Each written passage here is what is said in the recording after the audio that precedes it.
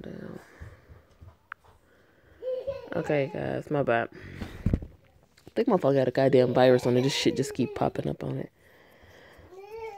Um, teacher, Epi 11. Only got one more to go. Then you guys can stop, you know, getting on my ass about this shit because it's only one more to go. Nah. See something you like, Mia? Busted, how am I gonna explain myself? Uh. Mhm. Uh, honestly, I do. You're handsome. I'm not gonna lie. But you, you either got a really low self esteem and need approval all the time, or a really high self esteem, huge ego, and need to show it off all the time. This is the second time within a week I've seen you half naked. But you're right. I do like what I see. But I've been but I but I would have liked it more if you weren't my teacher. You're something else, Mia. I'm impressed that you act you actually admitted to it. Mm. But in my defense, you seem to be around every time I'm half naked. Mm, coincidence? Definitely a coincidence, girl. Oh, really?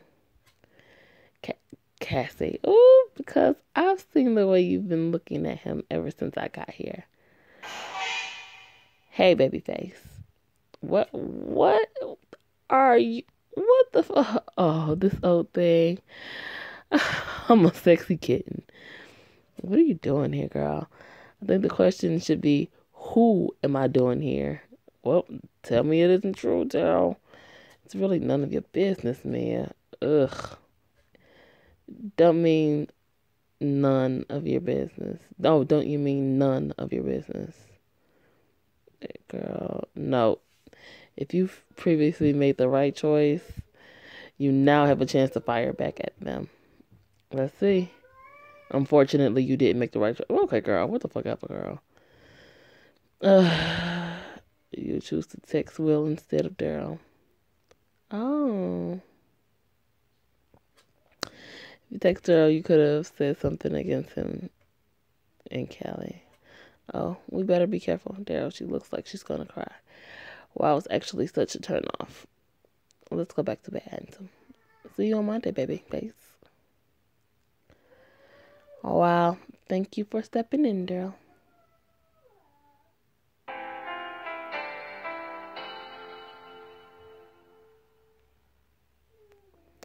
Felt humiliated and angry.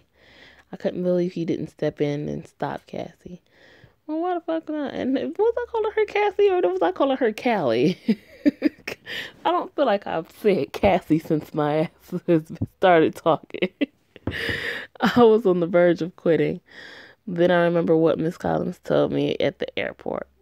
Daryl's a bit lost for reasons I don't know, and I shouldn't be surprised by his many girlfriends. Besides, I knew I didn't have to like him to do my job. Kylie is the one that matters. I can't leave her now. But one thing's for sure, I just lost a bit of respect I had for him. I don't care that he's my teacher anymore. He's he clearly doesn't respect me, so why would I respect him? They make a beautiful couple. Bitches. I'm done with them.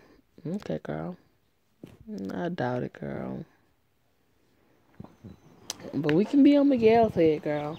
No problem. Sunday evening. Is this your father's house? Sunday came, so I went over to Williams. Nope, to help with his math homework. I stayed in my I stayed in my room for most of the day getting some homework done. That way I wouldn't have to run into any of them before I left to go to help Will. Luckily I didn't run into any of them when I left either.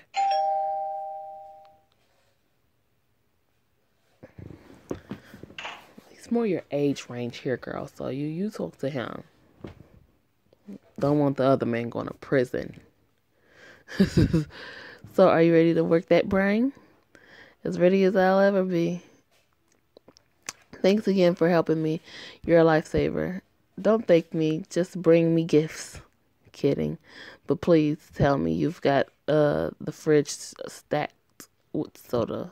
Stacked, stocked with soda. As a matter of fact, I have. I also brought Dr. Pepper just for you. You did? I have no idea how you could drink that stuff, but I still got it for you. It's so sweet. It's really sweet, if you will. I just wanted to make sure you wouldn't run out of energy. It's going to be a, a long night. That sounded really wrong. it did, but I know what you meant. Thank you. Are your parents not home? No, my dad's in the office working on some things. My mom's catching up with some friends. I see. They'll probably they'll probably be home late, so we've got the house to ourselves and some nice uh, some, some nice peace and quiet. Some nice peace and quiet, bitch. Never heard that, girl. Okay. Let me remove the plates from the table, then we can get started. Okay? Sounds good. We sat down me with Dr. Pep with a Dr. Pepper and Will with a Pepsi twist accompanying us. We slowly but steadily got through the exercises with Will cracking a, a joke every now and then, asking for breaks a lot, and me holding him by his ear, even though I sometimes got, uh, even though it's uh, that's even though I sometimes got us distracted by reminiscing of our childhood days. It was so good to have him back in my life again. I had a feeling that we'd be able to pick our friendship up from where we left it and even make it grow stronger than that. Okay, girl.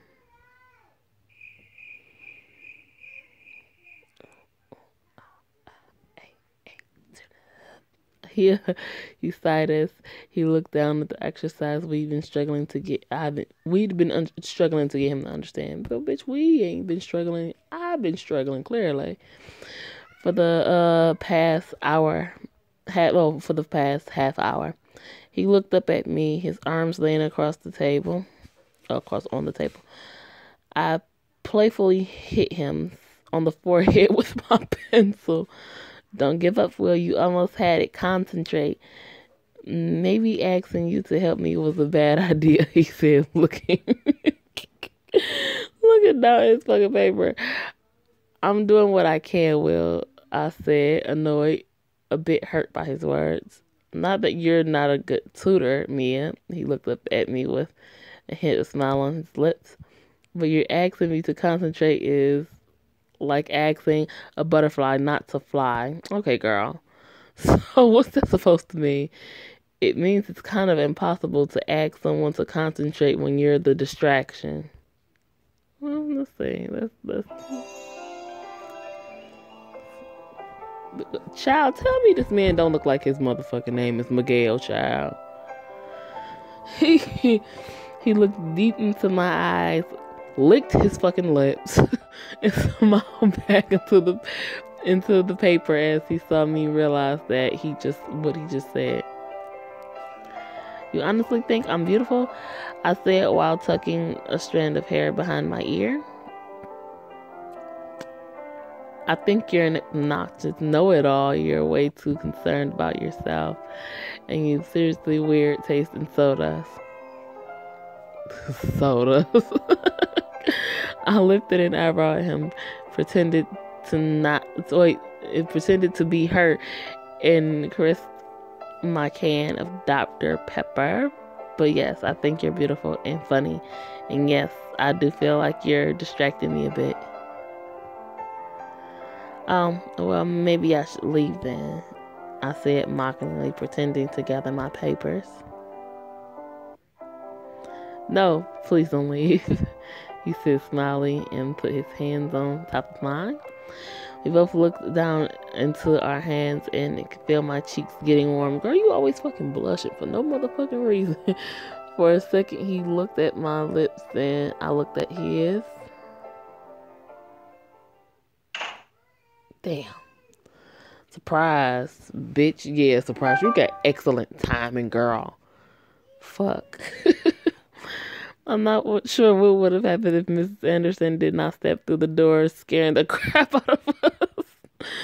but I knew we quickly pulled away as if we was about to do something embarrassing. So we got up and got out to greet her. Me, I was hoping I'd catch you before you headed home again. It's good to see you again, Mia. You've grown up so much. It's good to see you too, Miss Anderson. Mom, what are you doing scaring us and why are you home so early? What the hell are you talking about, girl? She walked over to us and hugged me tightly. I might have hurried home a bit to see if I could catch Mia before she left, and I wasn't trying to scare you, only surprise you. I'm really happy you came back to Woodstock, Miss Anderson. I, I might have missed Will a little, a little bit. We're happy to be back, sweetie. Washington was a bore. People were way too serious, girl. I just got an idea. Would you and your dad like to come and eat Sunday roast with us next Sunday? Sunday roast? I almost forgot how British you all are.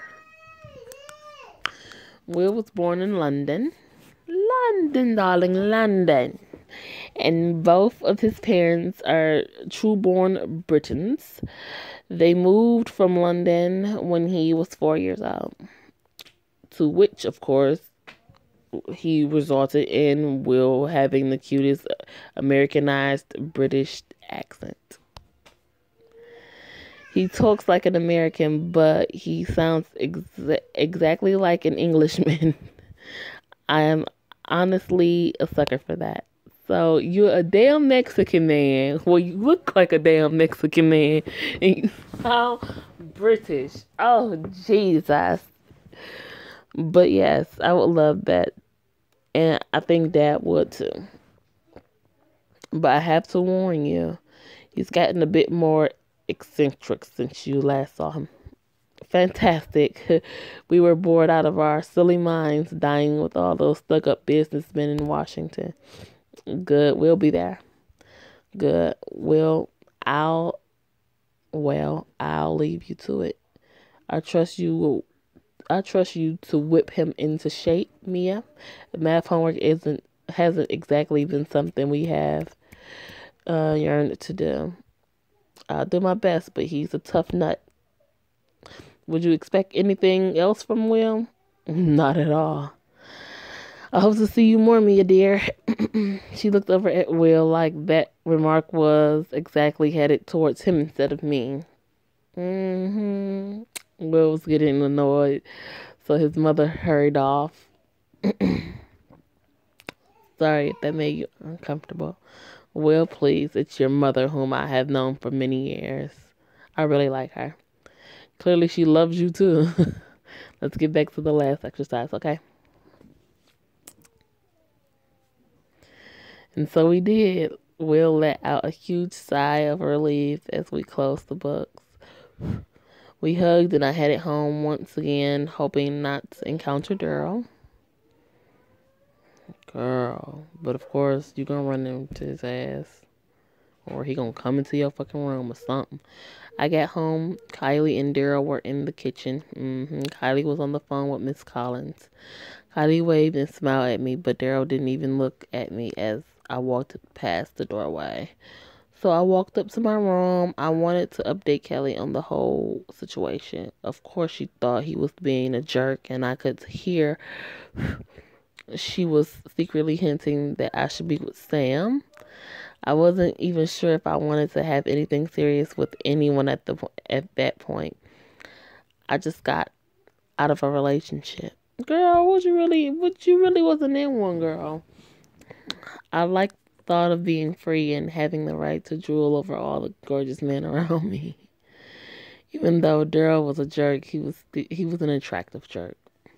But honestly, I was pretty disappointed and I thought he was making the this whole thing uncomfortable. Um this is hope it was him shit. Daryl. Hopefully coming to apologize for letting Kathy walk right over me and actually laughing about it. Oh, um Kylie. but it wasn't him, it was Kylie. Miss Collins wanted to talk to me. Yes, she's here. I love you too. Bye, Mom. Mom would like to talk to you. Me, I'm going to bed. Thank you, Kylie. I'll see you in the morning. Sweet dreams. Hey, Ellie, how are you? Mia, dear, it's good to hear your voice. I'm very well, thank you. My mother's doing a bit better. That's great news. Yes, it is. Anyway, I just wanted to hear how things are going. Are you and Kylie getting along? Kelly's an amazing girl. I think we're getting along really well, which is a relief. Oh, that's good to hear. How about you and Daryl? Mm, I didn't I didn't want to worry her, but I actually felt like I needed to talk to her about him. She knows him after all. Well, honestly, I don't think we're getting along. He's very hard for me to read, and I feel like I can't get through to him. I'm not surprised to hear you say that, Mia. I actually prepared for that. what do you mean prepared for it? In my bedroom, in my nightstand drawer, there's an envelope with quite a bit of money inside. I'd like you to take that money to Mia. I'd like you to take that money, Mia. Oh, and arrange a, well, a bonding trip for the three. you can go wherever you like with the money but let me suggest you go somewhere where Daryl won't be affected by the outside people. You know, like, don't go someplace warm where there will be a lot of girls in bikinis. Oh, okay, that makes sense. Someplace cold then. that would be my suggestion, yes. Someplace private, like this nice igloo hotel in Finland. Really? Finland. I've always wanted to go there, see the northern lights. Well, I haven't been there myself, but I've heard great things about it. It's pretty luxurious too. We girls like that, right? Absolutely love it, girl. Which girl doesn't like to be spoiled a bit? Haha. well, I for one love to pamper myself and bathe in luxury. Uh-huh. It's why I started my beauty business. Miss Collins told me more about how she started her business. She owns a lot of posh beauty salons across the country, um, which explains her amazing house and glowing complexion. I was very impressed by her business skills. Well, it's an amazing opportunity, Ellie. um, I'll um I'll bring the idea up for Daryl. I'm not sure he'll want to go with me though. I think he thinks I'm boring. In their language, that's probably because you haven't thrown yourself at him. Mm, I don't think he's used to that. Thank you for being professional, Mia. However, he won't have a choice. I want you three to go and have a good time. So let me talk to him. I'll call him tomorrow. Okay? Thanks a lot, Ellie. Really. Thank you for trying to make things easier between us. Of course, dear. Anyway, you're heading to bed, right? I just woke up, so I'll go visit my mother now. Take care, Mia. Take a look at the um, Arctic resort. Then, um, when you have time, it's beautiful. I will. Good night, Ellie. I wish I was going to sleep, y'all I couldn't help but freak out a bit at the fact that we're going to Finland. Never traveled so much. I've only been out of the country once, and it was with my mother's 30th birthday. We visited, uh, we visit, they visited fucking Mexico. Mexico. I said Mexico. My mother's hometown. Oh, so you Mexican. Okay, girl. We stayed at my granddad's home. Unfortunately, I was only four, so I don't remember it all. Mom got sick a year later and died close to my sixth birthday. And my granddad also since passed away. I don't have uh, any family left. Um, but I wish I had.